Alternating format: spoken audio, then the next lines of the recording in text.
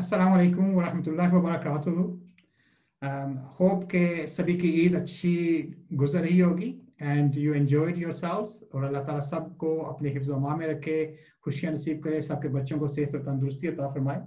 तो हमारा आज का जो ये सेशन है, ये management of respiratory infection cystic fibrosis के ऊपर है और ये बहुत ही इंपॉर्टेंट सेशन है क्योंकि इसकी वजह से काफ़ी लोग परेशान रहते हैं।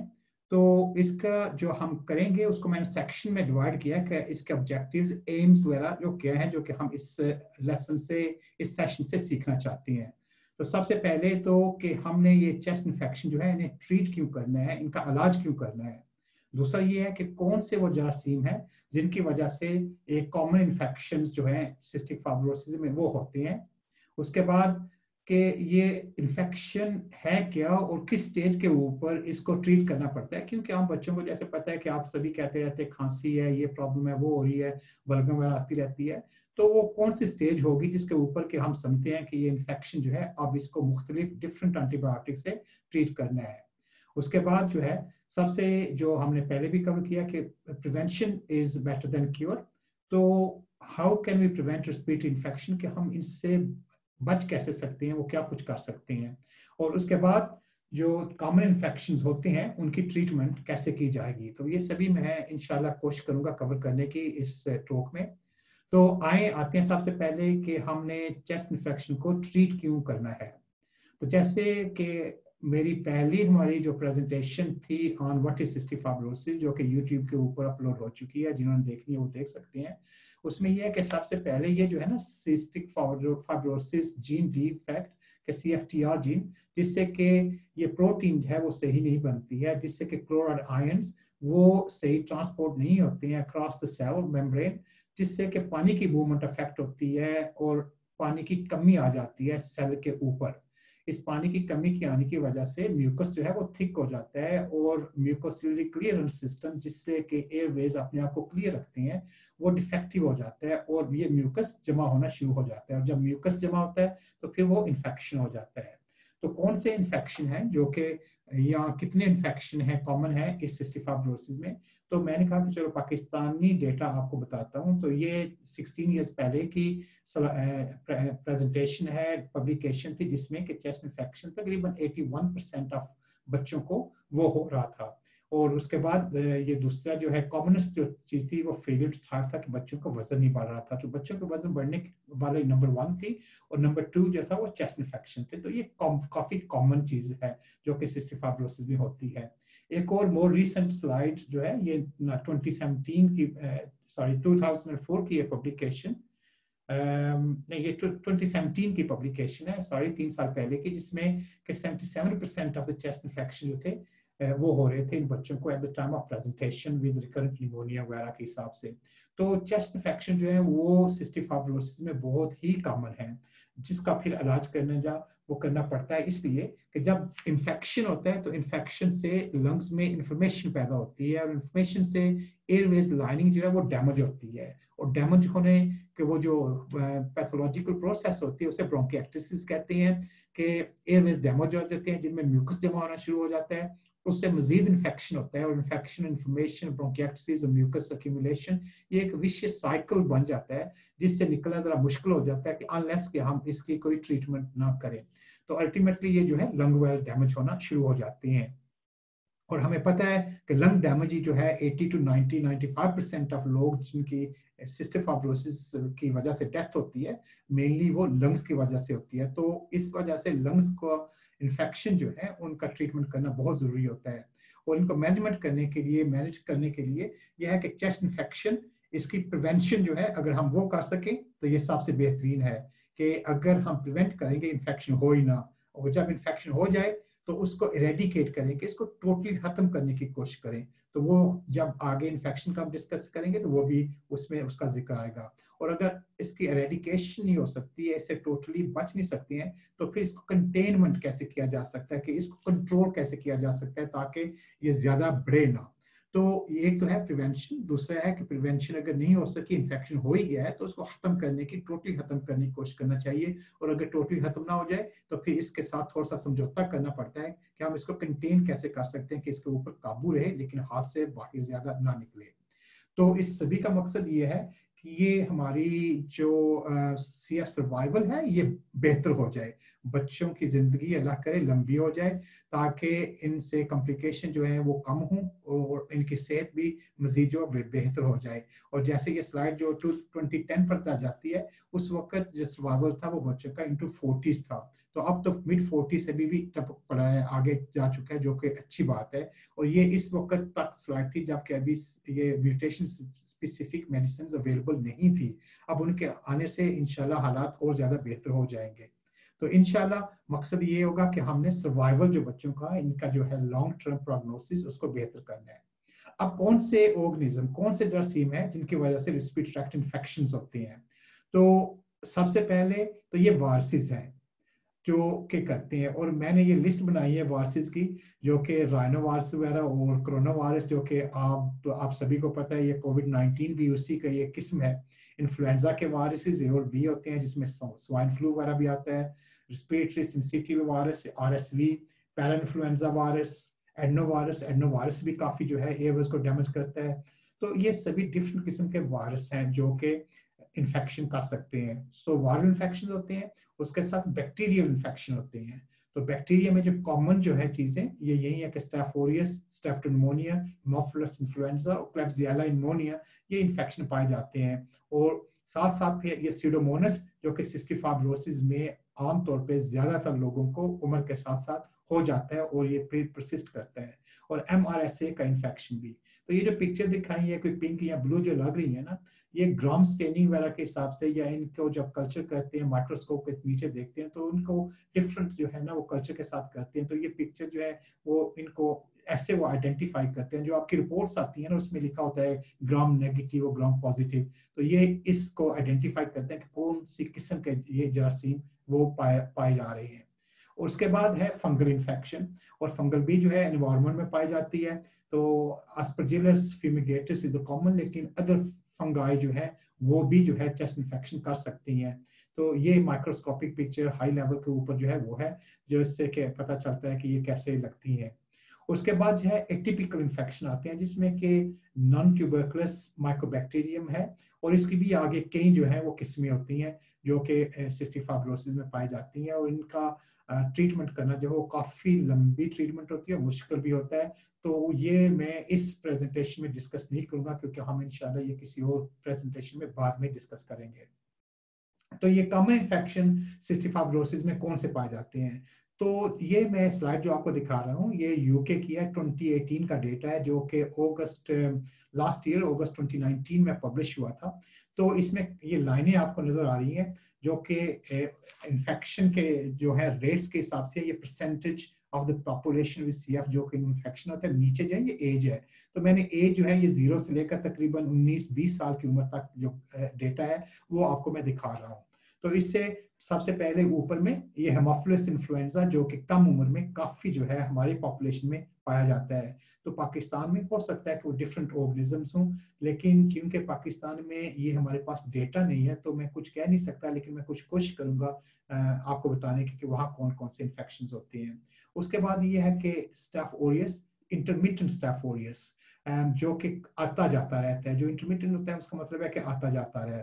और इसी तरह ये आते जाते वाली सीडोमोनस होती है, एक दफ़ा आ गई काफ़ी देर पर फिर ना आई और फिर आ गई तो ये इंटरमीडियंट सीडोमोनस इन्फेक्शन और जब ये इंटरमीडियंट वगैरह खत्म हो जाते हैं तो उसके बाद उम्र के साथ ये क्रोनिक इन्फेक्शन स्टाफोकोकस के साथ और सीडोमोनस के साथ ये जमा अक्यूमुलेशन की होती जाती है उनका रेट जो है वो बढ़ता जाता है उम्र के साथ। तो ये कॉमन इन्फेक्शन है यूके में, बचपन में। और इसके बाद ये पाकिस्तानी स्लाइड है, जो कि डॉक्टर दानिश अज़ीज़ ने आगाह से पेपर पब्लिश किया था इन 2017 43 पेशेंट्स थे। और इनमें आप अगर देखें तो ये जो है आपको नज़र आया कि सीडोमोनस जो था वो 28 परसेंट में पाया जाता है। स्टाफोरियस जो था वो भी आ रहा था क्लेब्जियाला और सिमिलर जो है ना वो, और ये ये बोखडेरिया स्पेशिया वगैरह और दूसरे कैंडिडा वगैरह वो भी आते हैं, लेकिन कम में आते हैं, लेकिन ये उम्र के साथ ये भी बढ़ सकते हैं। तो वेरी सिमिलर ऑर्गेनिजम्स लेकिन इनकी वो रेजिस्टेंस कितना कुछ है, वो शायद वो डिफरेंट हो डेफिनेटली डिफरेंट होता है। तो ये जो है, मैं थोड़ा सा कंपेयर कर रहा हूँ, जो कि यूके का डेटा है और उसके साथ ये पाकिस्तानी डेटा तो ये उम्र के हिसाब से मैं ये कम उम्र में, ये चार से सात साल की उम्र का जो है, मैं ये हाईलाइट करना चाहता हूँ कि उस वक्त 2.8 परसेंट बच्चे इस उम्र के जो थे, उन्हें ये क्रॉनिक सीडोमोनस इन्फेक्शन था, जो कि पाकिस्तान में इस वक्त 27.9 परसेंट है। तो ये तकरीबन तीन परसेंट और ये 28 परसेंट डिफरेंस इसमें, और इसको हमें कम करने की कोशिश करना चाहिए इन द फ्यूचर और ज़्यादा अफसोसनाक बात यह है कि ये जो H R C T high resolution C T scan है, उसके ऊपर 42 परसेंट कम, तकरीबन 42 परसेंट बच्चों को ब्रोंकिएक्टिस थी। तो जैसे मैंने कहा कि इन्फॉर्मेशन से लंग डैमेज होता है, उससे ब्रोंकिएक्टिस होती है तो ये 42 परसेंट बच्चे at the time of presentation इस उम्र में उन्हें ब्रोंकिएक्टिस ऑलरेडी हो चुकी थी। तो जो कि इसका मतलब है कि लंग डैमेज ऑलरेडी हो चुका है, जो कि इस वक्त वेस्ट में वो ऐसा नहीं होता है। तो इसकी अशद ज़रूरत है कि हम इन्फेक्शन को कम करें ताकि ये लंग डैमेज जो है वो कम हो। तो कौन से वो अलामत हैं जिससे पता चलता है कि बच्चे को इन्फेक्शन अब हुआ है और हमने इसकी ट्रीटमेंट करनी है? तो मैं सबसे पहले तो आम लोग सिम्टम्स होते हैं। और symptoms are very reliable indicator infection के। तो जब कोई कहता है कि हमें खांसी हो गई है तो हम कहते हैं कि ठीक है, खांसी कैसी है? तो वो सिम्टम्स अभी आपको बताता हूँ। तो ये सिम्टम्स जो है, ये सबसे पहले होते हैं।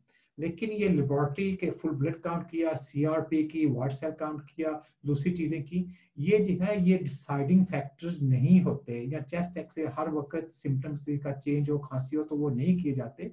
तो ये ये डिटरमिन नहीं करते कि ट्रीटमेंट अब इस इसके कफ की करनी है या नहीं करनी है।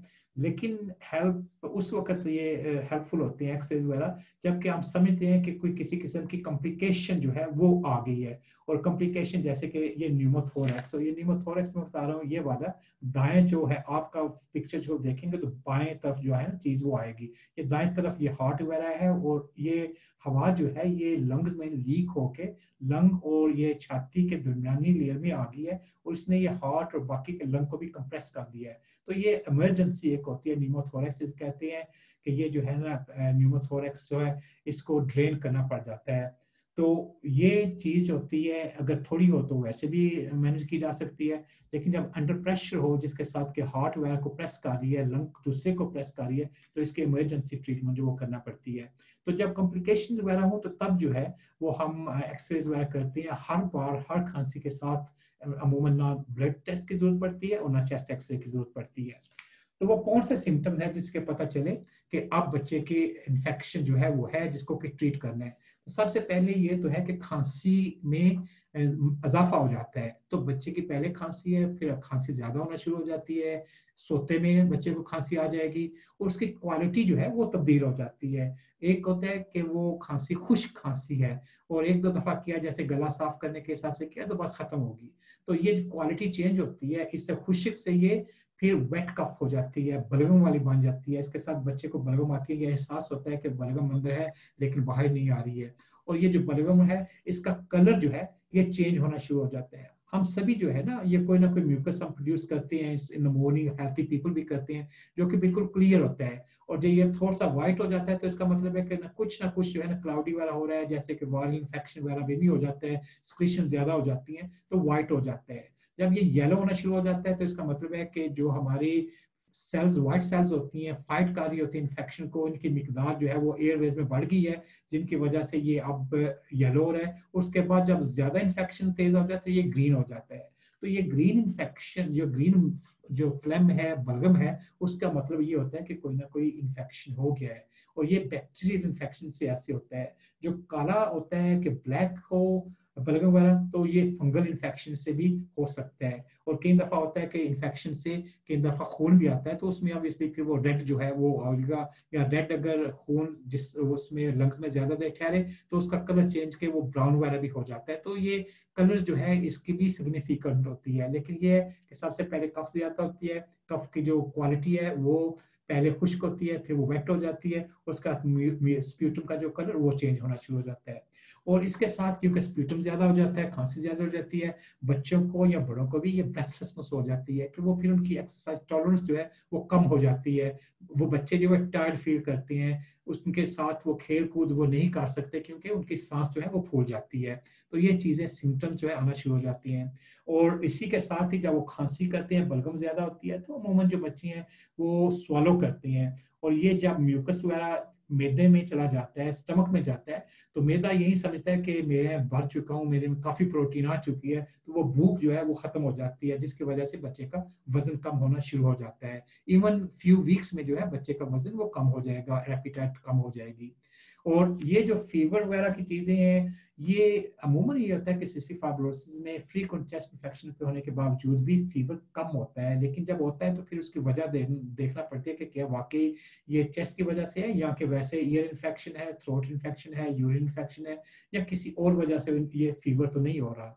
और जब ये बच्चे के इन्फेक्शन वगैरह चेस्ट होते हैं तो न्यू चेस्ट साइंस हो जाती हैं। तो बच्चों की ये जो हम डॉक्टर द्वारा लिसन करते हैं, कई दफ़ा होता है कि वो कहते हैं कि वीज आ गया है क्रेपिटेशन हो गया कई दफ़ा होता है ये क्रेपिटेशन वगैरह जो बबली नोज़ वगैरह आती हैं, ये सिस्टिफाइब्रोस में होती हैं, लेकिन ये न्यू चीज़ें आ जाए ना तो वो जो है वो ज़्यादा इंपॉर्टेंट होती है कि क्या न्यू क्या चीज़ आई है। और इसके साथ जब अगर फैसिलिटी हो, अगर लंग फ़ंक्शन वगैरह टेस्ट वो अवेलेबल हो तो वो more than ten percent drop जब लंग फ़ंक्शन में होता है तो उसे सिग्निफिकेंट माना जाता है कि ये जो इन्फेक्शन है, ये काफ़ी सिग्निफिकेंट हो गया, जिससे लंग अफेक्ट हो रहे हैं और लंग फ़ंक्शन जो है वो ड्रॉप हो गया है। और अगर चेस्ट एक्सरे करें तो उसमें भी निमोनिया की सूरत आ सकती है। लेकिन ये ज़रूरी नहीं है, जैसे मैंने कहा कि एवरी टाइम किसी को खांसी आए तो चेस्ट इन्फेक्शन करना पड़ जाए, क्योंकि at the end of the day हमने ट्रीटमेंट वही करनी है कि एंटीबायोटिक्स वो करने पड़ेंगे चेस्ट के साइन हो या ना हो। और यही बात है कि स्टेथोस्कोप के थ्रू भी अगर चेस्ट क्लियर भी हो लेकिन उस बच्चे की खांसी ज़्यादा हो गई है या उसके बलगम ज़्यादा हो गया है, उसके बलगम का कलर ज़्यादा हो गया, उससे ब्रेथलेस हो गया है, भूख चली गई है तो फिर भी हम कहेंगे कि ये एग्जेजर्वेशन है और इसका ट्रीटमेंट होना चाहिए। तो ये चीज़ें इकट्ठी मिला के देखी जाती हैं कि क्या कुछ है या क्या कुछ नहीं है। और ये थोड़ा सा मैंने कहा कि चलें जो जरा एकेडमिक किस्म के लोग होंगे तो ये है दो मॉडल थे जिनमें देखा कि, इन सिस्टम्स ये जो सिम्टम्स होते हैं इनकी रेलेवेंस कितनी है। तो मिसाल के तौर पे अगर डिक्रीज एक्सरसाइज टॉलरेंस हो गया है तो इसका मतलब है कि आम लोग जिनको ये नहीं है उससे ये 5.8 टाइम्स जो है, ज़्यादा चांसेस है कि बच्चे को प्रॉब्लम हो गया इन्फेक्शन हो गया। है अगर खांसी ज़्यादा हो गया है तो 4.3 परसेंट वो ऑर्ड रेशियो है कि इसको इम्कान है, कि इसको मुमकिन है कि इसे इन्फेक्शन हो गया है। तो इसी तरह बाकी की अलामतें भी ये बता रही हैं कि जब ये अलामतें आ जाती हैं तो चेस्ट इन्फेक्शन होने के चांसेस ज़्यादा होते हैं। और ये नीचे सबसे नीचे चल जाए, ये चेंजेस इन एफ़ ई जो है नोट पॉइंट नाइन फाइव जो कि इसकी ये पी वैल्यू जो बोलते हैं नोट पॉइंट ज़ीरो टू है, और इसी तरह ये डिक्रीज एपिटा ये थोड़े से बॉटम में आ जाते हैं, लेकिन इसका मतलब है कि ये इतने सिग्निफिकेंट नहीं है, लेकिन बाकी के ये कफ इंक्रीजमेंट स्प्यूटन वगैरह के हिसाब से बच्चा थकावट महसूस कर रहा है स्कूल जाने को दिल नहीं करता, ये नहीं जा रहा है हेल्थ की वजह से, वैसे नहीं हेल्थ की वजह से स्कूल नहीं जा रहे तो वो काफ़ी रेलिवेंट होती हैं, और ये सिम्टम्स जो है, अमूमन जो है सीक आउट किए जाते हैं, जब भी पता करते हैं कि इसका ट्रीटमेंट करनी है या नहीं करनी है।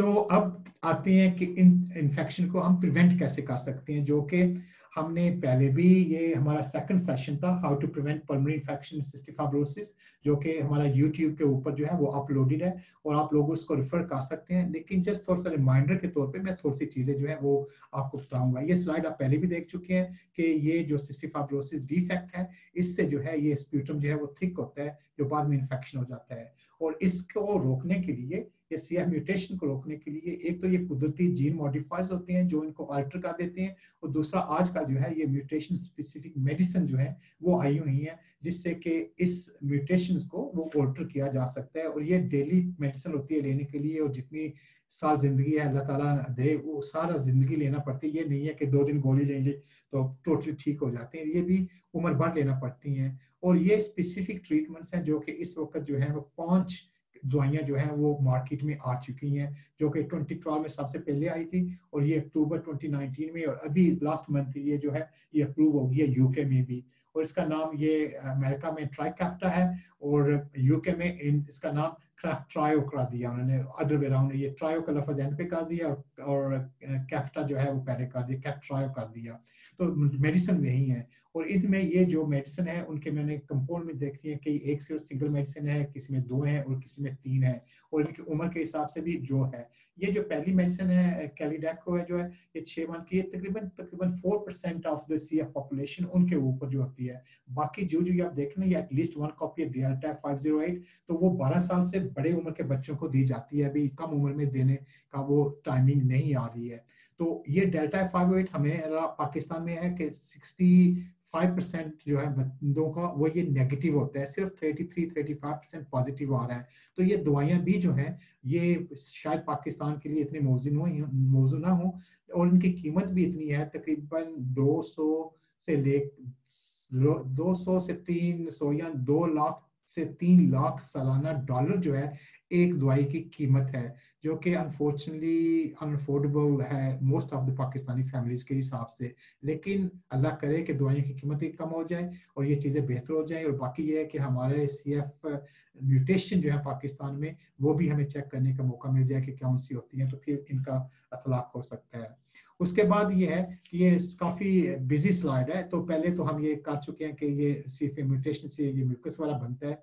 और ये जो physiotherapy mucolytic agents antibiotics anti inflammatories ये हम पहले वो डिस्कस कर चुके हैं। ये जस्ट एज ए रिमाइंडर है। और उसके साथ साथ ही ये बेटर न्यूट्रिशन वगैरह हो हाइड्रेशन जो है वो ठीक होना चाहिए बच्चे की वैक्सीनेशन बच्चों को लगवाना चाहिए। और बाकी की जो इन्फेक्शन कंट्रोल मेजर्स है ना, जैसे ये कोविड नाइन्टीन आया हुआ है और क्वारंटीन वगैरह का चक्कर चल रहा है, ये सभी चीज़ें जो है उनका ख्याल रखना पड़ता है। और इससे ये जो है कि आप इंटरफियरेंस करना पड़ेगी कि अगर एंटीबायोटिक्स दें इन्फेक्शन को रोकने के लिए ताकि इन्फ्लेमेशन ना हो और उसके बाद ब्रोंकियाक्टिस को मजीद ना बढ़ाया जाए चेस्ट फिजियो वगैरह की जाए तो इन सभी चीज़ों का ख्याल करना पड़ता है कि ये विश साइकिल जो है वो टूट जाए और लंग डैमेज ना हो। और ये एयर क्लियरेंस टेक्निक्स का जो लास्ट सेशन हमारा हुआ था बाई बारह जुलाई को हुआ था उनमें डॉक्टर सवेज और डॉक्टर ओमामा ने बड़ी तफसील से सभी चीज़ें बता दी थी, जो कि इसलिए हर एक बच्चे के लिए सेम टेक्निक जो नहीं हो सकती है, मुख्तलिफ़ एजेस के हिसाब से मुख्तलिफ़ और एक ही एज के मुख्तलिफ़ बच्चे जो हैं, वो फिर डिवाइस जो हैं, वो डिफरेंट इस्तेमाल करते हैं। तो वेरी इंपॉर्टेंट के फिजियो वाले असेस करें कि बच्चे की टेक्निक कौन सी अच्छी है, जिसके साथ के चेस्ट क्लियर हो सकती है और फिर पेरेंट्स उसको वो जो घर पे करते रहें। तो ये था आम के हम प्रिवेंट कैसे कर सकते हैं अदर टेक्निक्स के साथ। और इसके साथ एंटीबायोटिक्स जो है, वो भी बहुत ज़रूरी हैं। और एंटीबायोटिक्स भी प्रिवेंशन में भी दी जाती हैं। तो ये एक तो ये है कि इन्हीं एंटीबायोटिक की वजह से जो कि जैसे पेंसिलिन वगैरह जो थी, ये 1940 में जब आई थी आम इस्तेमाल के लिए तो उससे बच्चों का सर्वाइवल होना बेहतर हो गया था। और म्यूटेशन स्पेसिफिक मेडिसिन से पहले ही ये जो सर्वाइवल रेट है, ये 40 इस स्लाइड में लिखा गया था क्योंकि मैं इस रेफरेंस जो कि 2009 का रेफरेंस है उसके मुताबिक अब तो हायर नाइन फोर्टीज में जाता है 47 तक है और कनाडा वगैरह में जो है 50 में भी सर्वाइवल कर्व जारी है। तो ये इन्हीं एंटीबायोटिक्स की वजह से था कि एंटीबायोटिक्स से इन्फेक्शन के ऊपर कंट्रोल किया गया और जो विशियस साइकिल है, उसको स्टॉप किया गया। और ये एरेडिकेशन जो कि totally getting rid of the bugs और सब्सिक्वेंट उनका जो है ट्रीटमेंट जो है, वो बहुत ज़रूरी है। और इससे जो है, ये है कि बच्चे की क्वालिटी ऑफ़ लाइफ वो बेहतर हो जाती है। ये इससे इनकी उम्र बढ़ जाती है, अल्लाह के हुक्म से। और बाकी ये जो है, इसकी कास्ट जो है ना लॉन्गर टर्म में वो कम हो जाती है। अगर बच्चे की सेहत ठीक है तो ऑब्वियसली उसके ऊपर मेडिसिन जो है, खर्च कर मेडिसिन के ऊपर खर्च करने की कॉस्ट जो है, वो भी कम हो जाती है। और बाकी सेहत के हिसाब से भी जो चीज़ें होती हैं, यहाँ तो होता है कि पाकिस्तान में अगर बच्चा बीमार है तो पेरेंट्स भी जो है, वो नहीं जा सकते, उसको लुक आफ्टर कर सकते हैं। भाग दौड़ होती है, अस्पताल वगैरह की फीसें देना पड़ती है। तो ये सभी चीज़ें कॉस्ट ऑफ़ केयर जो है, वो भी कम हो जाती है। और प्रोफिलेक्टिक एंटीबायोटिक्स ये प्रिवेंटिव एंटीबायोटिक्स हैं। और ये भी जो है रिड्यूस के जो इंसिडेंट्स हैं स्टेफोकॉकसोरियस जो शुरू में जो होता है, वो ज़्यादा होता है, उसको रिड्यूस करने के हिसाब से। और प्रिवेंट सेकेंडरी बैक्टीरियल इन्फेक्शन जबकि वायरस इन्फेक्शन होते हैं, जिससे कि अमूमन जो है सेकंड बैक्टीरियल इन्फेक्शन हो जाता है, उसको कम करने के लिए प्रोफ्लेक्टिक एंटीबायोटिक्स यूज़ की जाती हैं। ये उम्र के हिसाब से प्रोफ्लेक्टिक एंटीबायोटिक्स ये होता है कि शुरू में ये फ्लूक्लॉक्सिन जो है, हम जो है बच्चों को दो या up to three years maximum वो देते हैं। अगर फ्लूक्लॉक्सलिन जो कि खाने में भी इतनी अच्छी नहीं होती है, वो सूट ना करे तो को मैक्सिक्लाब देते हैं। लेकिन टू या थ्री इयर्स की एज के बाद कोट्रामोक्साजोल जो है, वो प्रिवेंटिव मेडिसिन देते हैं और 12 साल के के बच्चों को ये टेट्रासाइक्लिन बेस्ड डॉक्सीसाइक्लिन व मिनीसाइक्लिन वगैरह की मेडिसिन होती हैं, वो देते हैं। जिससे कि इन्फेक्शन के ऊपर काबू पाया जाए। तो ये कोट्रामोक्साजोल जो है, ये माइक्रोबैक्टीरियम वगैरह के, उनको भी कवर कर लेता है स्टेफोरियस से भी कर लेता है। तो ये जो है, उम्र के हिसाब से डिफरेंट जो है प्रिवेंटिव एंटीबायोटिक्स दी जाती हैं। जिथ्रोमासिन जो है, आम काफ़ी लोग लेते हैं और ये यंग उम्र से दी जाती है। ये ज़रूरी नहीं है कि एंटीबायोटिक्स के तौर पे इस्तेमाल हो। फ़ंक्शन जो होता है एंटी इन्फ्लेमेटरी और इम्यून मॉड्यूलेटरी फ़ंक्शन होता है कि ये डिफरेंट मैकेनिज्म के थ्रू जो है, ये इंफॉर्मेशन वगैरह जो लंग की वो कम करता है, जो कि आम बच्चों में ये मुफीद साबित हुई है। और इसका सबूत ये है कि एडल्ट में ये पब्लिकेशन जो 2002 में पब्लिश हुई है 18 साल पहले, जो एडल्ट से इस्तेमाल कर रहे थे, उसे कि significantly fewer courses of intravenous antibiotics जो थी, वो उन्हें देने की ज़रूरत पड़ती थी। उसके साथ जो है कि उनका लंग फ़ंक्शन था, वो बेहतर मेंटेन रहा। और इनके जो सी रिएक्टिव प्रोटीन जो कि मेजर ऑफ़ इंफॉर्मेशन है, वो भी कम होगी और इससे साथ इनकी क्वालिटी ऑफ़ लाइफ जो है, वो इम्प्रूव होगी। तो ये एडल्ट स्टडी थी, लेकिन बच्चों में भी ये देखा गया है कि जो बच्चे अपने लंग फ़ंक्शन कर रहे हैं, उनमें 5.4 परसेंट बच्चों को रिस्पांस एफ़ वन की काफ़ी अच्छी आई थी। और इन बच्चों को जो कि oral azithromycin as a prophylactic anti ले रहे थे उनके यूज़ ऑफ़ अदर एंटीबायोटिक्स जो थी ना, वो भी कम हो गई थी। हालाँकि स्टडी में पाँच बच्चे ऐसे थे जिनकी तबीयत वाकई ज़्यादा भी खराब हो गई थी, लेकिन 36 ने बेनिफिट किया था। और इसके साथ फुल बेनिफिट ऑफ़ ट्रीटमेंट जो है, वो तकरीबन दो चार महीने देने के बाद स्टार्ट होता है। ज़रूरी नहीं है कि आपने दो दिन दी और उसी दिन देखे, उसके दो दिन के बाद कहें, जी, बच्चे की भी तबीयत ठीक नहीं है। ये इन चीज़ों से काफ़ी देर लग जाती है। और यही जैसे क्लिनिल होता है क्लिनिल की मैं हमेशा कहता हूँ कि इनहेलर जो होता है, वो दो से छः हफ़्ते लगता है अपना फ़ंक्शन दिखाने के हिसाब से। तो अगर आप एक दो दफ़ा दे दिया किसी को तो कहें कि बच्चे की तबीयत नहीं ठीक है तो उसका कसर नहीं होगा। और मोर रिसेंट स्टडीज़ जो है, उन्होंने ये भी कन्फर्म किया कि एजिथ्रोमाइसिन के, ये बेनिफिट है, ये इन्होंने कन्फर्म किया जो कि ऊपर जो है, वो मैं बता बता चुका हूँ। अब आते हैं treatment of common respiratory infection की तरफ़, कि जो अगर इन्फेक्शन हो जाए तो हमने उन्हें ट्रीट कैसे करना है? तो उसमें ये है कि एक तो है ये वायरल इन्फेक्शन होते हैं, जिनका मैंने ज़िक्र किया, आपको लिस्ट भी दिखाई थी कौन से इन्फेक्शन जो है वायरल वाले होते हैं। तो उसमें यह है कि जो लोग सिस्टिक होती हैं, वो वही वायरसेस उनमें पाए जाते हैं जो कि आम दूसरे लोगों में पाए जाते हैं। तो ये ज़रूरी नहीं है कि सिस्टिक वाले लोगों को डिफरेंट किस्म के वायरसेस जो है इन्फेक्ट कर करते हैं, बल्कि वही इन्फेक्शन है जो कि आम लोगों में पाए जाते हैं।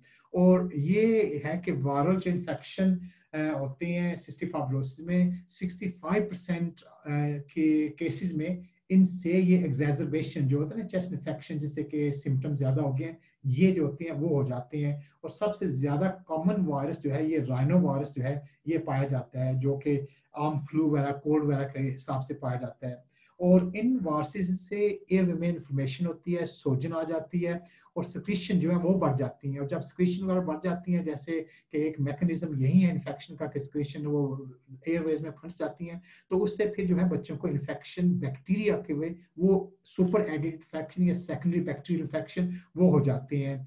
और इनसे फिर इन्फॉर्मेशन मजीद बढ़ जाती है, वो चक्कर आती है। इसलिए जो है वायरल इन्फेक्शन भी सिस्टिक फाइब्रोसिस में बहुत ज़रूरी है कि इनको भी हम जो है वो सही तरीका से ट्रीट करें।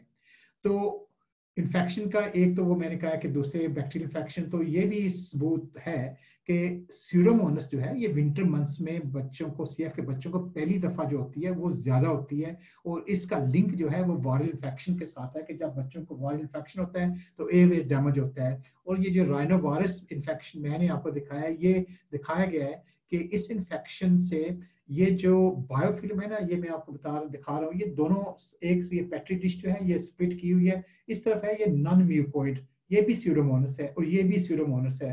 ये म्यूकोइड है, इसके ऊपर अपने इर्द गिर्द जरासीमो ने एक जेली जो है ना, वो पैदा कर दी है। तो पहले ये जो है, ये नॉन म्यूकोड किस्म की सीडोमोनस होती है, जो कि ऐसा समझे कि बहुत इनोसेंट किस्म की सीडोमोनस होती है। इसे कोई पता नहीं होता दुनिया में, बिल्कुल जैसे बच्चों की तरह है समझ नहीं है। तो एंटीबायोटिक से ये जल्दी जो है खत्म हो जाती है और ये फुली सेंसिटिव होती है। लेकिन यही चीज़ जब वो बढ़ती है ना तो ये अपने आप के इर्द गिर्द ये म्यूकस जमा कर देती है, जिससे फिर के एंटीबायोटिक्स पेनिट्रेट नहीं कर सकती हैं और बग को किल नहीं कर सकती। तो ये जो रेजिस्टेंस आता है ना, जो अब हम कल्चरल सेंसिटिविटी भेजते हैं तो कहते हैं कि सेंसिटिव टू दिस और रेजिस्टेंट टू दिस तो ये रेजिस्टेंट जो है ना, ये बायोफिल्म वगैरह की वजह से होता है कि ये जो प्रो जो एंटीबायोटिक्स देती हैं, फिर वो बग जो है, ये अपने दिफा के तौर पे अपने दिफा के तौर पे ये पैदा कर लेती है म्यूकस वगैरह बनाना, जिससे कि वो एंटीबायोटिक्स जो है, वो उसके अंदर जा ही ना सके, जिससे कि वो बग जो है वो खत्म हो जाए। तो ये बग के अपने सर्वाइवल का भी सवाल होता है, जो कि ये बग काफ़ी अच्छी तरह से सर्वाइव कर सकती है।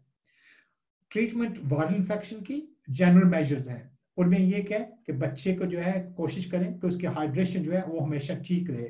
जैसे ऑलवेज मैंने कहा कि जब भी बच्चों को ये बुखार वगैरह होता है, ये किसी किसी बीमारी होती है वॉमिटिंग वगैरह होती है डायरिया वगैरह होता है तो डिहाइड्रेशन हो जाती है। तो उनकी हाइड्रेशन का ख्याल रखें। O R S oral rehydration fluid वगैरह, यो पीडियालाइट वगैरह, ये जो भी पानी फ्लूड जूस जो भी बच्चे पीते हैं, उन्हें ज़रूर दें ताकि इनके जिसम में पानी की कमी ना हो, क्योंकि पानी की कमी के आने की वजह से म्यूकस थिक हो जाता है और फिर वो जमा हो जाता है। उसके अलावा कोशिश करें कि इनकी न्यूट्रिशन जो है, वो ठीक रहे even during the illnesses as तो उसमें यही है कि हाई कैलोरीज वाली ड्रिंक्स आप दे सकते हैं पीडियाश्योर वगैरह जैसे होता है, या और किस्म की जो जो भी बच्चे पसंद करते हैं, या locally available high calorie foods हैं या ड्रिंक्स हैं, वो देने की कोशिश करें ताकि उनका जो वेट गेन जो है, वो कम ना हो। उसके साथ एयर क्लियरेंस जो है फिजियोथेरेपी वो बहुत ज़रूरी है उसे ज़रूर जारी रखें। और फिजियोथेरेपी के सेशन में उन्होंने ऑस्कल्टेशन का कहा था कि सभी को पेरेंट्स को ये जो है स्टेथोस्कोप लेना चाहिए। तो इट इज़ फाइन कि जो डिफ्रेंशिएट कर सकते हैं या नहीं कर सकते लेकिन एक बात याद रखें कि अगर बच्चे को सिम्टम्स हैं, खांसी है, जो कि वेट हो गई है, और खांसी है, जो कि बलगम कलर चेंज हो गया ब्रेथलेसनेस हो गई है तो without any reason without any other evidence इस बच्चे को एंटीबायोटिक्स की ज़रूरत होगी। ये ऑस्कल्टेशन वगैरह जो है, ये टेक्निकल एक चीज़ है जो हम कई डॉक्टर्स भी अच्छी तरह से नहीं कर सकते तो शायद मरीज़ भी ना कर सके, लेकिन अगर ट्रेन है फुली तो वो ठीक है, शायद कर लें। तो ये उनका ये था फिजियो में जो सेशन में बताया गया था कि ये आप आसानी से सुने कि कौन से एरिया में ये म्यूकस वगैरह ज़्यादा जमा हो गया है। लेकिन ये आप कोशिश करें कि लंग के सभी हिस्सों की आपने फिजियोथेरेपी करनी है, यही नहीं है कि जिसमें थोड़ी सी आवाज़ आई आपको तो उसको कर ली और बाकी ना की। और ये जो एबिलिटी ऑफ़ कफ ये बच्चों की, ये जो आम बच्चे सिस्टिक फाइब्रोसिस में, ये प्रॉब्लम नहीं होती है। जब आप इनकी फिजियो करेंगे और प्रिफरल स्मॉल ए वे से ये स्प्यूटम वगैरह जो वो हिल के मूव होके सेंटर की तरफ़ आएगा तो बच्चों को कफ आएगी और कफ से ये ऊपर लाएँगे और स्वालो कर लेते हैं, ये बात स्पिट आउट कर देते हैं। लेकिन कम उम्र के बच्चे, अमूमन स्वालो करते हैं। तो आपको ये सक्शन की जो है ना, अमूमन ये ज़रूरत नहीं पड़ना चाहिए। सक्शन उस सूरत में पड़ती है जब बच्चा अनएबल होता है कफ अप करने के लिए। तो ये न्यूरोलॉजिकल पेशेंट्स जिनके के सिबर पोजी वाले पेशेंट्स होते हैं, या एपिलेप्सी वाले पेशेंट्स होते हैं, या और दिमागी अमराज वाले कई बच्चे होते हैं स्ट्रक्चरल दिमाग जिनके मसल टोन वगैरह नहीं होती है तो उनका होता है कि वो कफ सही नहीं कर सकते और कफ के साथ अगर उनके गले में आ गए तो स्टक हो जाता है। लेकिन अगर आप क्लियर कर सकते हैं, ठीक है, और बच्चे खुद वो बेबीज भी जो है, वो स्वालो कर लेते हैं तो मोमन सक्शन वगैरह की ये ज़रूरत नहीं पड़ती है। लेकिन अगर न्यूरोलॉजिकल कोई इश्यूज़ है तो they do need assistance in that as well और ऑक्सीजन सैचुरेशन जो भी बीमारी रंग की है, जिसमें कि ऑक्सीजन ज़रूरी नहीं है कि वायरल हो, कोई भी हो, जिसमें कि ऑक्सीजन जो है, वो कम हो गई है और डेफिनेटली लेस देन 90 परसेंट हो जाए तो ज़रूर देते हैं। और जब 92 तक आ जाए तो जरा एहतियात करना पड़ती है कि ये ठीक नहीं है। नॉर्मली जो है 95 से 100 परसेंट के दरमियान होती है ऑक्सीजन सेचुरेशन तो अगर इसकी ज़रूरत पड़े तो वो साथ देना पड़ती है। और इसके साथ ऑब्वियसली बच्चों को कई दफ़ा बुखार होता है, खांसी के साथ मसल पेन होते हैं या गला वगैरह खराब होता है, उसमें जो गला दर्द करता है तो जो पेन रिलीफ के हिसाब से पैरासीटामोल वगैरह वो दे सकते हैं फीवर के हिसाब से जो है वो भी पैरासीटामोल होती है या प्रोफन होती है वो दे सकते हैं तो वो भी देना चाहिए। तो ये फ्यू जनरल मेजर्स हैं और उसके साथ there is no special treatment viruses की अपनी कोई खास ट्रीटमेंट नहीं है, लेकिन अभी जो है, ये टेमीफ्लू जो है, ये इन्फ्लुएंजा ए और बी के हिसाब से वो आ जाता है। ये स्वाइन फ्लू जो होते हैं ना, वो इन्फ्लुएंजा ए तो उसके लिए टेमीफ्लू है। ये कोविड इन्फेक्शन कोविड नाइनटीन का आ रहा है तो उसमें भी लोग अभी ट्राई कर रहे हैं कि कौन सी दवाई दें, कोई कौन से ना दें। कोई हाइड्रोक्सीक्लोरोक्विन कहता है, कोई डेक्सामेथाजोन कहता है, कोई और दवाइयाँ दे रहा है। तो वो जो है ना, वो अभी ट्रायल वाली चीज़ें हैं, कोई भी अभी अप्रूव नहीं है। तो ज़रूरी अल्लाह ताला सभी को ये कोरोना वायरस वगैरह से बचाए। तो ये जो बाकी की मैसेज हैं वो देखें और फिर ये जो होता है, ये अगर आपके पास एविडेंस है कि आपने ये इन्फ्लुएंजा वगैरह के टेस्ट किए हैं तो कौन सा तो फिर चेक किया जा सकता है कि बच्चे की तबीयत के मुताबिक दवाई देने की ज़रूरत है या नहीं है। और prevention of secondary bacterial infection जैसे मैंने कहा कि एयरवेज डैमेज हो जाते हैं वायरल इन्फेक्शन की वजह से तो उसके बाद फिर ऊपर बैक्टीरिया हो जाते हैं। तो मेनली जो होता है, ये स्टाफोरियस और हेमोफिलस इन्फ्लुएंजा कम उम्र में या इस में पाया जाता है, जिसको कवर करने के लिए कोमैक्सिक्लैब या ओगमेंटी जो है वो दी जाती है। लेकिन ये भी हमें चेक करना पड़ता है कि क्या यही ऑर्गेनिजम्स पाकिस्तान में भी सेंसिटिव है, इन एंटीबायोटिक से या नहीं। और इसीलिए ये जो होता है मैं कहता हूँ कल्चर सेंसिटिव करवाएँ ताकि पता चले कि इन्फेक्शन है कौन सा है कौन सी एंटीबायोटिक जो मौजूद रहेगी, वो देने की ज़रूरत पड़ जाती है। और फिर ये है कि ये कल्चर रेगुलर कल्चर जो है, इसीलिए करवाए जाते हैं कि पता चल सकता रहे कि सेंसिटिविटी कौन सी है और बग्स कौन सी है। तो आते हैं ये वायरल इन्फेक्शन की तरह। तो ये मैंने डायग्राम बनाया कि वो लोग, जैसे मैंने कहा कि हम दो तीन साल की उम्र तक ये प्रोफ्लैक्टिक या प्रिवेंटेटिव फ्लूप्रॉक्सिसिलिन स्टाफोरिस के लिए देते हैं। अगर बच्चा ऑलरेडी उसके ऊपर है तो वो हम स्टॉप कर देते हैं, क्योंकि ऑब्वियसली उसके होते हुए बच्चे को इन्फेक्शन हो गया तो उसको हम फिर जैसा कि कोमैक्सिक्लैब जो है, वो देते हैं कि कोमैक्सिक्लैब मेडिसिन ऑगमेंटिन वो दे देते हैं, और ऑगमेंटिन अगर कहीं जैसे पेंसिल सेंसिटिव हो पेंसिल एलर्जी हो तो उसमें अजिथ्रोमासिन वो भी दी जा सकती है, या अजिथ्रोमासिन ऐड भी की जा सकती है। और अगर बच्चा किसी प्रिवेंटिव प्रोफ्लेक्टिक एंटीबायोटिक के ऊपर नहीं है तो शुरू से ही जो है कोमैक्सिक्लैब दी जा सकती है और अगेन अजिथ्रोमासिन दी जा सकती है अगर बच्चे को पेंसिल एलर्जी हो तो। तो वारसिस में ये है कि वो जनरल मेजर्स और उसके साथ ये है कि मुनसर है कि उसके कल्चर जो है प्रीस्टली कौन से रहे हैं और कौन से एंटीबायोटिक ऑलरेडी ले रहे हैं। तो अमूमन ये होता है कि हम पहले उनको कोमैक्सिक्लैब देते हैं। लेकिन अगर वो पहले सीडोमोनस ग्रो कर चुके हैं और खतरा है कि ये सीडोमोनस की वजह से एग्जेजर्बेशन है तो फिर हम उन्हें जैसे सिप्रोफ्लॉक्सिन ओरली अगर वो सेंसिटिव है, वो देंगे। तो सिप्रोफ्लॉक्सिन आम कफ्स एंड कोल्ड के लिए नहीं है। आम कफ्स एंड कोल्ड को कवर करने के लिए हम जो है ये कोमैक्सिक्लैब ऑगमेंटिंग वो यूज़ करते हैं। इसके बाद दूसरे इन्फेक्शन जो है, वो कौन से हैं? तो दूसरे इन्फेक्शन अभी तभी पता चलेगा हमें जब हम कल्चर करेंगे। कल्चर सेंसिटिविटी इसीलिए ज़रूरी है। हमारे बच्चे जो है यूके में, हर दो महीना के बाद उनका कल्चर होता है यूजली या इवन दो महीने के दरमियान भी उनके साथ एनकाउंटर हो तो हम स्वाप जो है वो ले लेते हैं। तो पाकिस्तान में मैं अमूमन कहता हूँ कि चलो, मुश्किल होती है फाइनेंशियल की प्रॉब्लम भी होती है तो चलो हर तीन चार महीने के बाद ज़रूर क्वालिया करे कि ताकि पता चल जाए कि क्या कुछ है। तो ये कंप्रोमाइज है। बेस्ट स्टेट ही तो यही है कि जब भी बच्चे को किसी किस्म का ज़्यादा बलगम वाला गया तो उसका कल्चर लिया जाए ताकि पता चले कि कौन सी बग्स हैं, पहले वाली है या कौन सी है। तो इसमें ये फिर पता चल जाता है कि पहली दफ़ा कोई बग आई है, क्या ये बग ट्रीटमेंट करने पहले थी, उसे रेडिकेट किया जा चुका है या नहीं, या क्या ये रीग्रोथ है, या या क्रोनिक इन्फेक्शन जो कि लगातार आ रहा है, ये तभी पता चलेगा जब हम ये रेगुलर कल्चर करेंगे। अगर ये कल्चर नहीं हो रही है तो हमें ये इन्फॉर्मेशन किसी और तरीका से नहीं मिल सकती।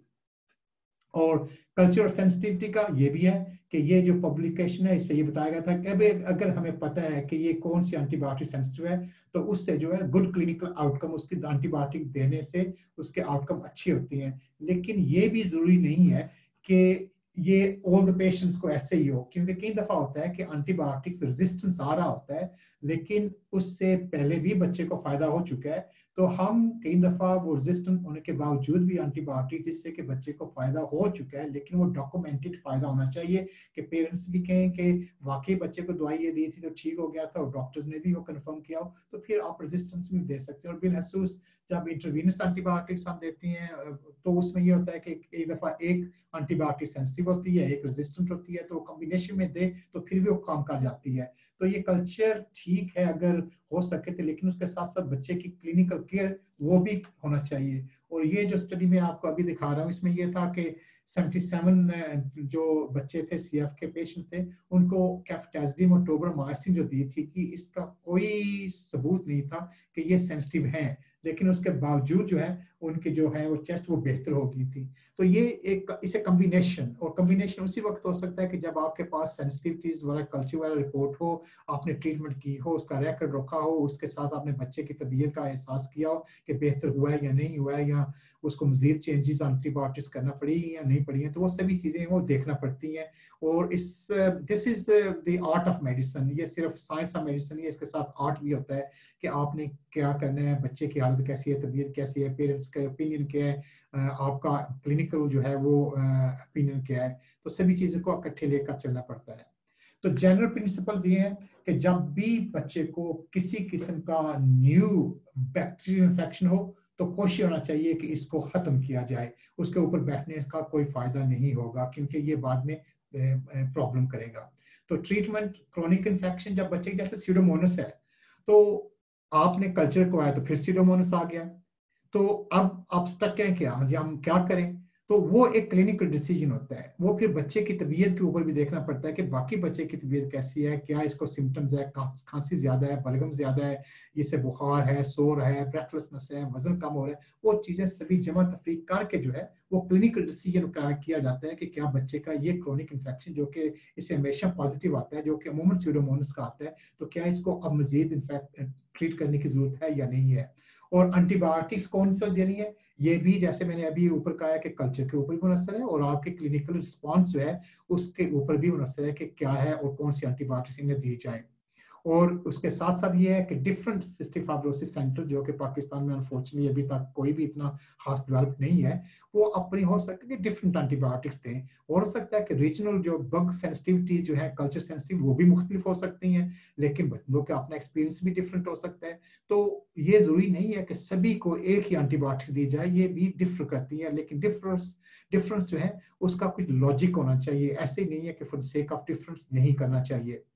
तो जनरल प्रिंसिपल और कौन से हैं कि during the period of active treatment जो होता है, वो ये होता है कि जो प्रोफ्लेक्टिक एंटीबायोटिक्स होती हैं, वो अमूमन स्टॉप कर देती हैं। तो अगर मिसाल के तौर पे कोई बच्चा ऑगमेंटिन ले रहा है या फ्लू क्लॉक्सिसिन है, ले रहा है तो वो हम जब इन्हें एक्टिव ट्रीटमेंट देंगे तो वो उसको स्टॉप कर देते हैं। तो इंटरवीनस जब मिसाल के तौर पे स्टार्ट हो गई है तो फिर ओरल सिप्रोफ्लॉक्सिसिन लेने का फ़ायदा नहीं होगा। तो वो हम स्टॉप कर देते हैं। और अगर कोई नेबुलाइज्ड एंटीबायोटिक्स ले रहा है तो वो हम कंटिन्यू रखते हैं। नेबुलाइज्ड एंटीबायोटिक्स हम स्टॉप नहीं करते इवन दो कि वो इंटरवीनस एंटीबायोटिक्स भी लेंगे, क्योंकि ये दो किस्म के हैं कि ये नेबुलाइज्ड एंटीबायोटिक्स आपके लंग्स में जारी हैं, जहाँ के वो स्प्यूटम और बग्स हैं तो इनका असर भी जारी रहना चाहिए। तो nebulised antibiotics are always continued लेकिन प्रोफ्लेक्टिव एंटीबायोटिक्स आर स्टॉप्ड और जो जिथ्रोमार्सिन है, ये आप स्टॉप भी कर सकते हैं, आप जारी भी रख सकते हैं तो ये दोनों तरह से हो सकती है। लेकिन अगर जारी रखें तो इसका क्योंकि वो एंटी इन्फ्लेमेटरी है, वो बेहतर रहेगा। तो अगर आप इन्फेक्शन ट्रीट कर रहे हैं आईवीज के साथ, या ओरल सिप्रो या ओरल एंटीबायोटिक के साथ एज इन्फेक्शन तो जिथ्रोमाइसिन साथ साथ जारी रखी जा सकती है। उसके साथ ये है कि आपने ये भी डिसाइड करना है कि हमने, अगर बच्चा जो उसकी तबीयत अच्छी है, जैसे कल्चर में आ गया, खांसी थोड़ी सी है, लेकिन अदरवाइज़ एक्टिव है स्कूल जा रहा है, कोई खास प्रॉब्लम नहीं है तो वो ओरल एंटीबायोटिक से ट्रीट किया जा सकता है। लेकिन इसके तीन प्रिंसिपल हैं जो मैंने वहाँ लिस्ट की है। एक, कि इसकी थ्रेश जो है ना एंटीबायोटिक्स देने की ये लो होना चाहिए। इसका मतलब है कि ये नहीं है कि बच्चे की तबीयत ज़्यादा ही खराब होनी है तो तभी देने हैं। और यही है कि जब वायरल इन्फेक्शन होते हैं तो अगर दो दिन तक आराम खांसी का नहीं आया हो गया तो हम एंटीबायोटिक्स 48 के आवर के बाद वो स्टार्ट कर देंगे कि इससे ओरल एंटीबायोटिक की ज़रूरत है। और जो सिस्टिक फाइब्रोसिस में एंटीबायोटिक्स दी जाती हैं वो हाई डोज होती हैं। तो लोग ये कहते हैं जी, ये इसके लिए ज़्यादा तो नहीं होंगी। नहीं, ये अगर आप जो डोजेज रेकमेंडेड है सिस्टिक फाइब्रोसिस उस मुताबिक दे देंगे तो वो कोई ऐसी प्रॉब्लम नहीं है। लेकिन ये डोजेज आम इन्फेक्शन से ज़्यादा होती हैं और इनका कोर्स जो है, वो भी आम इन्फेक्शन से लॉन्गर होता है। जैसे आम जो है तो पाँच या सात दिन के बाद एंटीबायोटिक स्टॉप कर दी जाती हैं, लेकिन सिस्टिक फाइब्रोसिस में दो, तीन और कम अज कई दफ़ा चार हफ़्ते तक भी दी जाती हैं। और कई दफ़ा ये कॉमन प्रिंसिपल होता है कि एक हफ़्ता सिम्टम्स बेहतर होने के बाद तक एंटीबायोटिक देते रहे। तो अगर मिसाल के तौर पे 10 दिन के बाद बच्चा ठीक हो गया तो आप सेवन डेज़ और दे, वो टू एंड हाफ़ वीक्स बन जाएगा। अगर दो हफ़्ते के बाद सिम्टम्स खत्म हुए तो तीसरा हफ़्ता भी देना पड़ेगा। तो ऑन एवरेज ये आप समझ लें कि आम दो से तीन हफ़्ता जो है, ये कॉमनली ये एंटीबायोटिक दी जाती है। तो उससे पहले अगर आप खत्म करेंगे तो इसका मतलब है कि इन्फेक्शन जो है, वो दोबारा होने के चांसेस हैं। लेकिन अगर बच्चे की तबीयत खराब है तो फिर ओरल एंटीबायोटिक्स नहीं है। वहाँ आपने बच्चे को इंटरवीनस एंटीबायोटिक्स देनी है। और कौन सी इंटरवीनस एंटीबायोटिक्स देनी है? ये हम अमूमन दो एंटीबायोटिक्स कम्बिनेशन देते हैं। और कॉमनेस्ट कम्बिनेशन जो यूके में दिया जाता है, वो कैफेटाइजिन और टोब्रामाइसिन है। और दूसरे ममालिक में यही होता है, लेकिन ऑब्वियसली ये भी अगेन अगर बग्स वो सेंसिटिव नहीं है या उनसे पहले वो रिस्पॉन्स नहीं आ रही है तो फिर एंटीबायोटिक्स चेंज करना पड़ेगी। और इंटरवीनस भी एंटीबायोटिक्स दें तो ये कम अज कम दो हफ़्ते का कोर्स होता है, और फिर उसके साथ ये होता है कि बच्चे का वज़न चेक किया जाता है, बच्चे का लंग फ़ंक्शन टेस्ट किया जाता है, बच्चे के स्प्यूटम कल्चर जो है वो चेक किया जाता है कि क्या कोई फ़र्क आ रहा है। अगर सिम्टम्स अभी भी प्रसिस्ट हैं तो तीसरे हफ़्ता भी एंटीबायोटिक्स का और चौथा भी दिया जा सकता है। तो ये सीरियसनेस के हिसाब से मतलब कि रिस्पॉन्स के हिसाब से है कि कितनी अच्छी रिस्पॉन्स हो रही है। लेकिन मिनिमम जो है, वो टू वीक्स इंटरवीनस एंटीबायोटिक्स दी जाती हैं। अगर मिसाल के तौर पे एक बच्चे के कफ स्वाब किया है, लेकिन उसमें कोई बग आया ही नहीं है तो उसमें ये होता है कि अगर मार्ड है सिम्टम्स उसके मार्ड है तो आप ओरल एंटीबायोटिक्स दे लें और इसमें ओगमेंटिन दे देते हैं कोमैक्सिक्लाव दे देते हैं, जो कि दो हफ़्ता की मिनिमम होती है। साथ अगर जिथ्रोमासिन है तो वो भी दे सकते हैं, या अगर बंदा पेंसिलिन एलर्जी है तो आप जिथ्रोमासिन दे सकते हैं। और अगर पिछले किसी कल्चर में अगर सिप्रोफ्लॉक्सिन सॉरी ये सीडोमोनस आया हुआ है तो फिर ये कंसिडर करें कि शायद आप सिप्रोफ्लॉक्सिन अगर सेंसिटिव है तो वो देना चाहती है। लेकिन अमूमन ये होता है कि जैसे मैंने कहा नॉन म्यूकोड जो होता है, वो सेंसिटिव होता है, और जब ये म्यूकोड सीडोमोन्स हो जाता है तो ये रेजिस्टेंट हो जाता है। तो वो भी देखना पड़ता है, और ये उसी वक्त पता चलेगा कि कल्चर आपने किया हुआ है या नहीं किया है। और अगर बच्चे की तबीयत सीरियस है, लेकिन कल्चर में फिर भी कुछ नहीं आ रहा है तो फिर भी आपको इंटरवीनस एंटीबायोटिक्स देना पड़ेंगे। वो इंटरवीनस को वो ऑगमेंटिन भी हो सकती है, या मेरोपेनम और टोब्रामासिन कम्बिनेशन वो भी हो सकती है, और बिलहसूस अगर स्टाफोरिस को कवर करना है तो तो तब ज़रूरी है। तो इवन आपका बग्स नहीं आए हैं तो सिम्टम्स भी हैं तो फिर भी जो है बच्चे को एंटीबायोटिक्स दी जाएँगी। स्टाफ ओरियस जो है, जैसे मैंने बताया, हमारे मुल्क में भी और पाकिस्तान में भी ये काफ़ी कॉमन पाया जाता है। अगर पहली आइसोलेशन आई है और बच्चा जो है ऑलरेडी जो है, वो प्रोफ्लेक्सिस नहीं ले रहा फ्लू क्लॉक्सिन से तो आप उसे अगर वो ले रहा है तो फिर आप उसके वो स्टॉप करके उसको, को मैक्सिक्लार देंगे। सो फ्लू क्लॉक्सिन जो है, ये स्टॉप कर देंगे और उसको ओरल फ्लू ओरल को मैक्सिक्लार चार हफ़्ते के लिए देंगे। और अगर वो फ्लू क्लॉक्सलिन प्रोफ्लेक्सिस नहीं ले रहा तो उसको आप जो थेराप्यूटिक डोजेज है थेराप्यूटिक और प्रोफ्लैक्टिक डोजेज में फ़र्क है? प्रोफ्लैक्टिक डोजेज वो कम दी जाती हैं और थेराप्यूटिक डोजेज हाई डोज होती है तो वो आप उसे फ्लू क्लॉक्स दे लेते हैं, अगर वो ऑलरेडी इसके ऊपर नहीं थे तो। और अगर बच्चा अनवेल है तो फिर इंटरवीनस एंटीबायोटिक्स वो इस्तेमाल करना पड़ेगी। उसमें चॉइस है, जो कि आप अपनी लोकल लेबोरेटरी या लोकल रीजनल लेबोरेटरी के हिसाब से पता चलता रहता है कि स्टाफ फोरिस किस किस्म का मेरोपेनिक की ज़रूरत है या टोब्रोमासिन या टाइकोप्लेनिन वगैरह वो देते हैं तो वो इंट्रावीनस से वो देने की ज़रूरत पड़ती है। जो अगर बच्चे को कहीं पहले अगर इन्फेक्शन वगैरह हो जाता है इसको एग्जेजर्बेशन हुई है तो उसके लिए जो है, अगर बच्चा ऑलरेडी फ्लूक्लोसिसिलिन जो है वो ले रहा है तो उसको वो ट्रीटमेंट डोज में, जैसे मैंने कहा कि प्रोफ्लेक्सिस डोज कम होती है तो वो ट्रीटमेंट डोज में चार हफ़्ता के लिए जो है वो कवर करने की कोशिश की जाती है कि वो स्टाफोरिस जो है वो कवर हो जाए। अगर रीग्रोथ आ रही है, और ये रीग्रोथ जो है, ये पहले हुआ था और उसके विद इन छह महीने के दोबारा वही स्टाफोरिस आ गया है, और जो आ गया है तो फिर बच्चे को फ्लू क्लॉक्सिसिलिन चार हफ़्ता के लिए जो है वो अमूमन हम देते हैं, ये देना चाहिए। मैं देखा कि ये डिफरेंट सेंटर जो है ना सी एफ़ सेंटर हो सकता है डिफरेंट जो है वो चीज़ें इस्तेमाल करते हो। अगर जो बच्चे की रीग्रोथ जो है छह महीने से ज़्यादा अरसा के बाद आई है तो इसको आप फ़र्स्ट रीग्रोथ ही समझे। और जैसे मैंने पहले ऊपर वाली स्लाइड है, उसको एज ए फ़र्स्ट ट्रीटमेंट के हिसाब से किया जाए। अगर रिकरेंट रीग्रोथ आ रही है कि कई दफ़ा आ चुका है विद इन सिक्स मंथ्स तो फिर ये है कि बच्चे को जो है एक से ज़्यादा एंटीबायोटिक्स फैम्पसिन या फसिडिक एसिड वगैरह जो है, चार हफ़्ते के लिए अगर बच्चे की तबीयत ठीक नहीं है तो इंटरवीनस जो है, वो देना पड़ेगी। तो ये जो है ना क्रोनिक इन्फेक्शन वगैरह, ये तभी ऑब्वियसली पता चलेगा कि जब बच्चे के कल्चर वगैरह हो रहे हैं और उसी हिसाब से कि प्रोफ्लेक्सिस ले रहा है या नहीं ले रहा है, या उसके जो रिकरेंट इन्फेक्शन है री रीग्रोथ है, क्या कुछ है तो उसी हिसाब से ये होगा। और अगर ऑब्वियसली लगातार आ रहा है तो फिर ये कोट्रामोक्सिजोल वगैरह ये भी देने की ज़रूरत पड़ जाती है।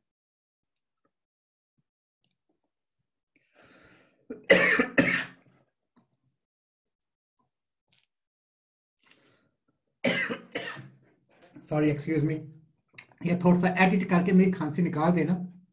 I just wait for couple of seconds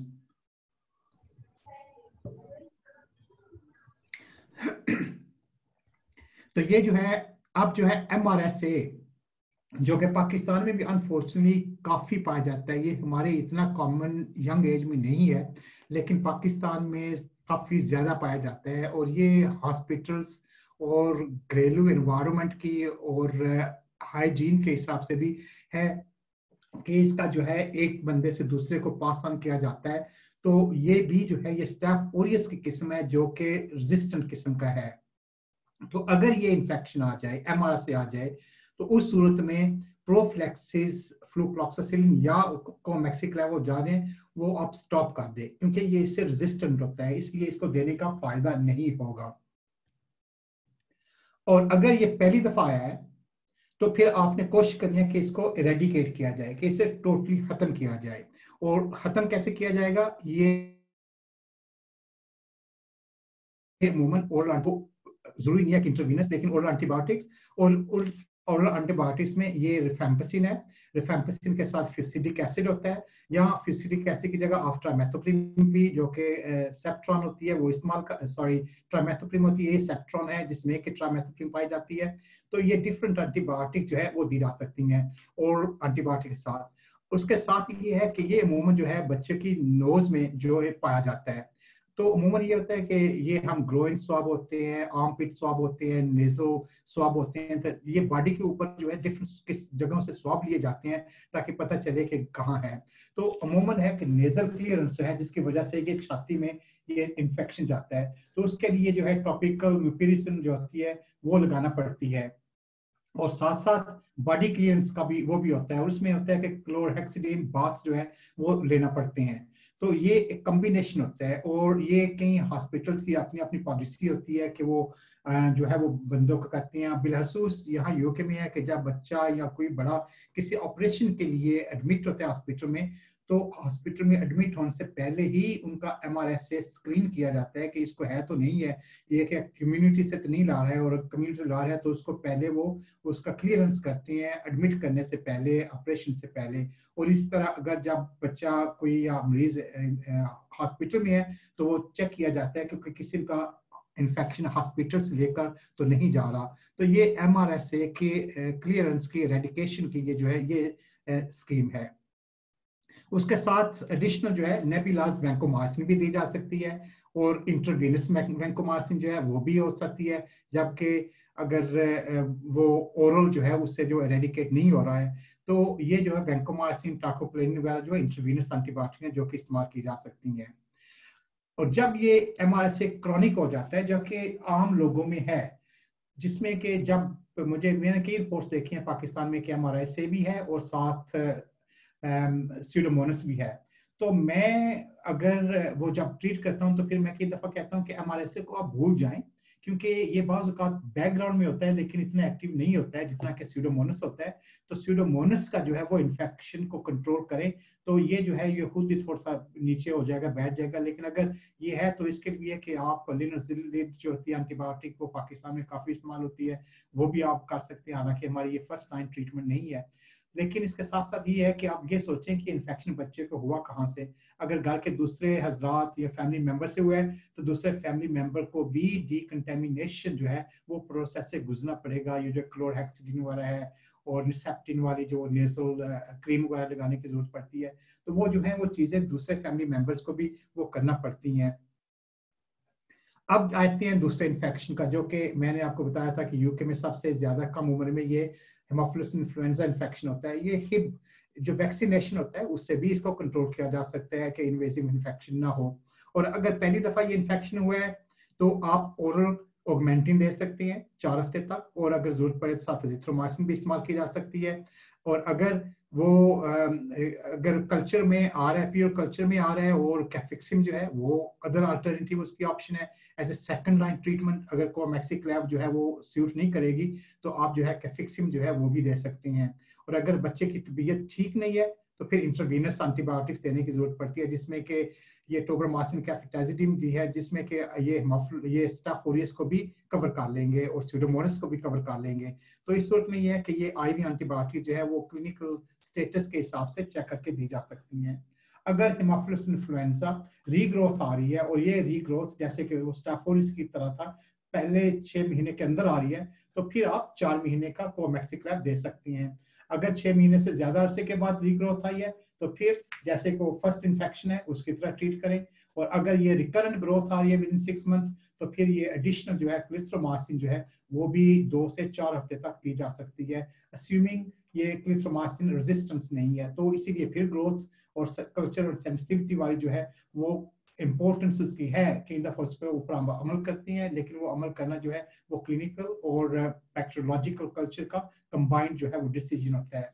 तो क्रॉनिक इन्फेक्शन में जो कि अनकॉमन है, ये हेमोफिलस इन्फ्लुएंजा क्रॉनिक इन्फेक्शन के ऑल द टाइम जो इन्फेक्शन है, ये बहुत अनकॉमन है। लेकिन अगर ऐसे है तो फिर ये मेरे मेडिसिन जो है लॉन्ग टर्म जिथ्रोमासिन भी इसके लिए जो है, वो भी दी जा सकती है। उसके साथ प्रोफ्लेक्सिस दी जा सकती है।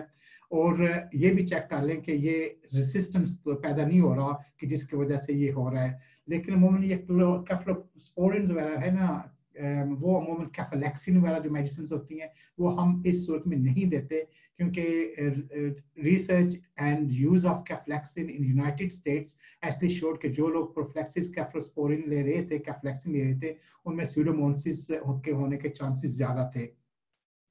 इसके बाद आते हैं सीडोमोनस इन्फेक्शन की तरफ़, जो कि आम ज़्यादातर लोगों में पाया जाता है।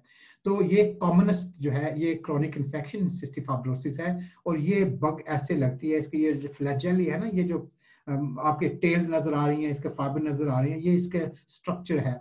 और ये जैसे मैंने बताया कि नॉन म्यूकोइड होता है, और इससे फिर म्यूकोइड बन जाता है। तो ये नॉन म्यूकोइड होता है इससे फिर ये जो जेली वगैरह पैदा करता है अपने गिरद तो ये जो है, ये म्यूकोइड बन जाता है। तो ये सेंसिटिव से रेजिस्टेंट की तरफ़ इसका जो है रुझान वो ज़्यादा बढ़ जाता है।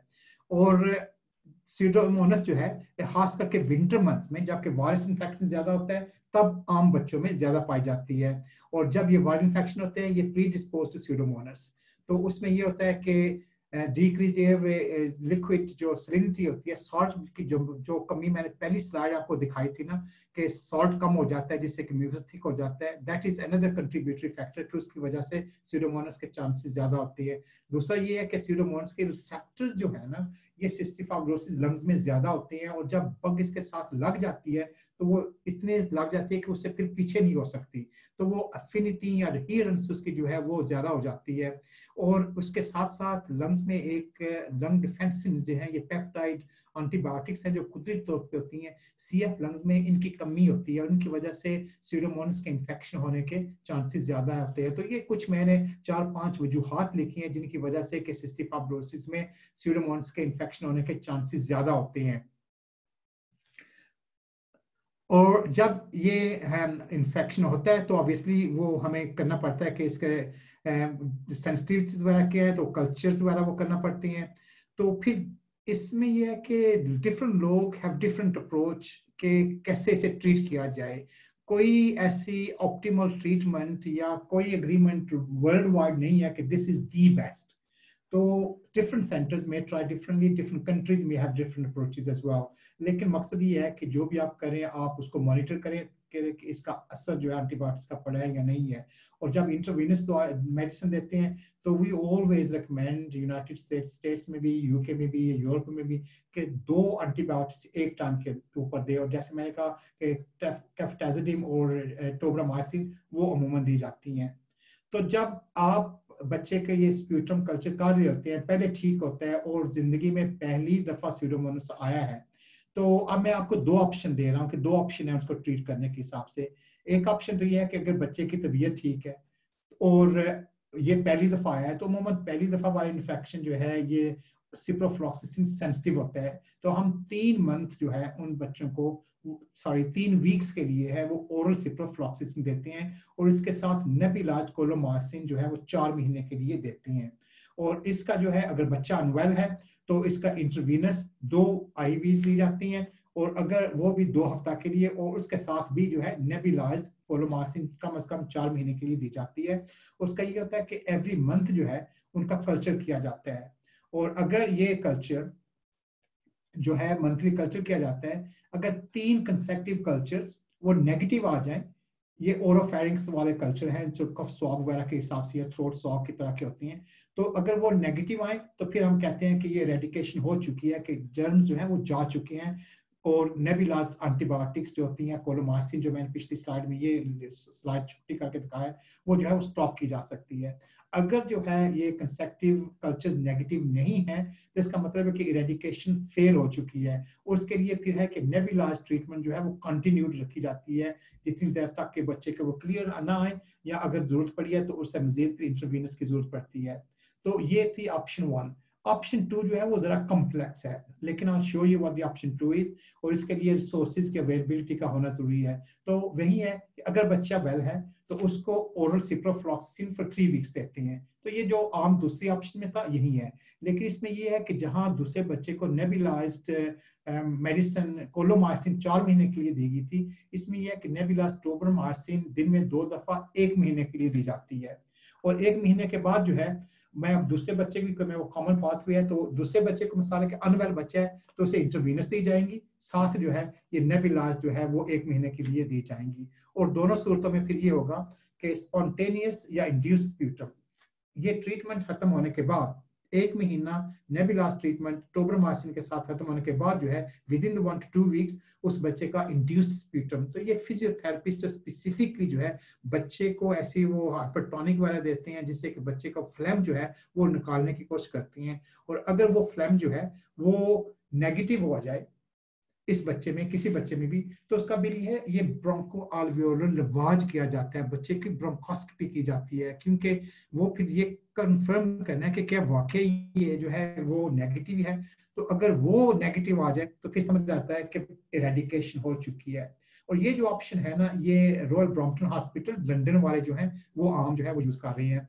तो ये है कि उनके पास ब्रोंकोस्कोपी करने के चांसेस फैसिलिटीज़ अपॉर्चुनिटीज़ ज़्यादा होंगी तो वो करते हैं। और अगर ये बात ब्रोंकियो जो है, ये पॉजिटिव आ गया तो इसका मतलब है कि रेडिकेशन नहीं हुई है, इसे फेल्ड रेडिकेशन और अगर बाकी जो ये स्पीटम का रहे हैं इंड्यूस स्पीटम आ गया, वो भी पॉजिटिव आ गया तो इसका मतलब है कि फेल्ड है तो इससे अगर पहले ही पॉजिटिव आ गया तो इसमें ब्रोंकोस्कोपी करने की ज़रूरत ही नहीं है, क्योंकि आपको वो पहले ही पॉजिटिव आ रहा है। ये ब्रोंकोस्कोपी उस वक्त है, जबकि ये नेगेटिव आया है तो आपने ये आप कंफर्म डेफिनेटली करना है कि क्या वाकई नेगेटिव है तो फिर ब्रोंकोस्कोपी करके ये किया जाएगा।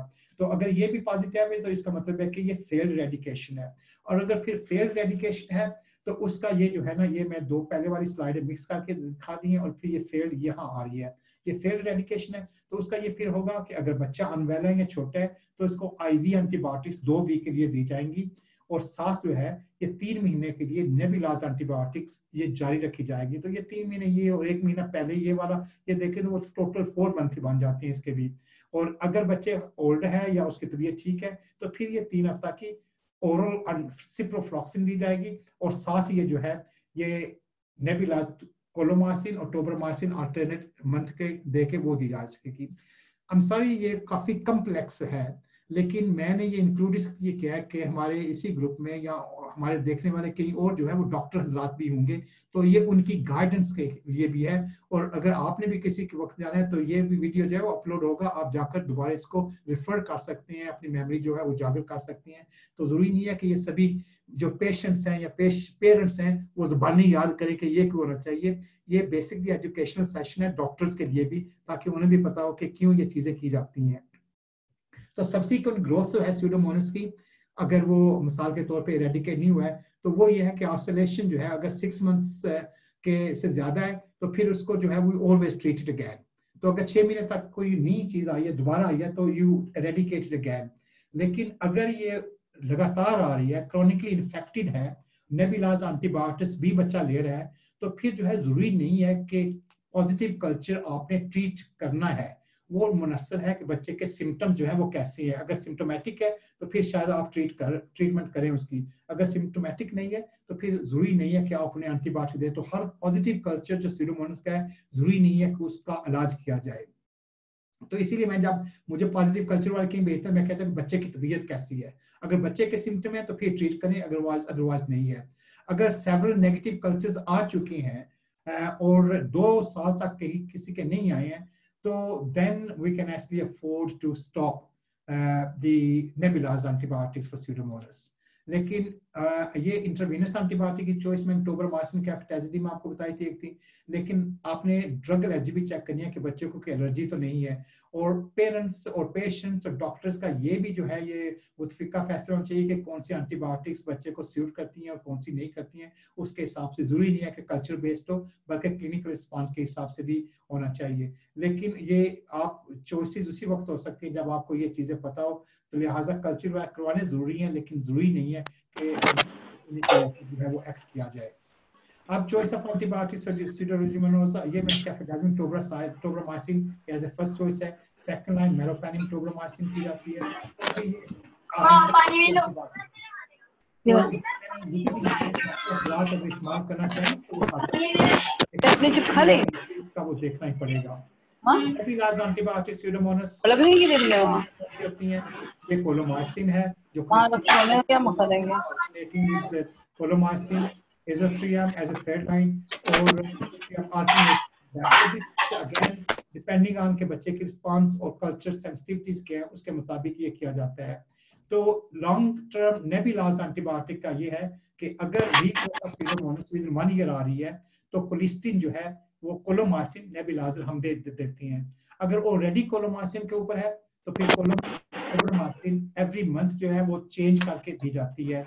और अगर ऑलरेडी कोलोमासिन कोलोमासिन आ रहे हैं तो फिर ये है एजोट्रियम है वो ट्राई की जा सकती है। तो ये डिपेंड है कि कल्चर वगैरह कौन सी लेकिन अगर दो साल से बच्चे को जो है वो नहीं हो रहा और ये उस सूरत में जबकि आप कल्चर कर रहे हैं अगर कल्चर कर ही नहीं रहे तो आप ये स्यूम ना करें कि वो चला गया है। तो उस सूरत में ये है कि अगर दो साल कल्चर नेगेटिव रिपीट करने से नहीं आ रहे हैं तो आप ये नेबुलाइज्ड एंटीबायोटिक स्टॉप कर सकते हैं। तो in summary the end of the um, uh, कि इट इज़ वेरी इंपॉर्टेंट कि आप प्रिवेंशन के तौर पे प्रोफ्लैक्टिक के तौर पे ज़ोर दें कि बच्चे को एक तो इन्फेक्शन हो ही ना। और रेगुलर कल्चर जो है, वो चेक करना पड़ते हैं कि क्या कोई न्यू इन्फेक्शन हो रहा है, या जो हुआ है ट्रीटमेंट के बाद क्या वो रेडिकेट वो खत्म हो चुका है तो उन्हें की स्ट्रेंथ वगैरह के हिसाब से ड्यूरेशन के हिसाब से वो सही तरीका से दे।